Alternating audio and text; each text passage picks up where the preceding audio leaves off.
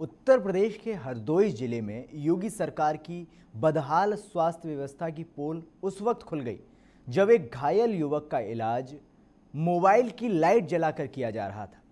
योगी सरकार वैसे तो स्वास्थ्य सुविधाओं के नाम पर बड़े बड़े दावे करती है, लेकिन यूपी में स्वास्थ्य सुविधाएँ पटरी से उतरी हुई हुई नज़र आती हैं।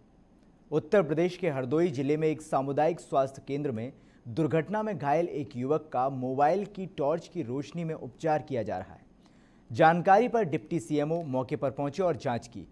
सीएमओ जावेद ने मामले में कार्रवाई का भरोसा दिलाया है। आप तस्वीरों में साफ़ देख सकते हैं कि किस तरह से एक घायल युवक का इलाज टॉर्च की रोशनी में किया जा रहा है।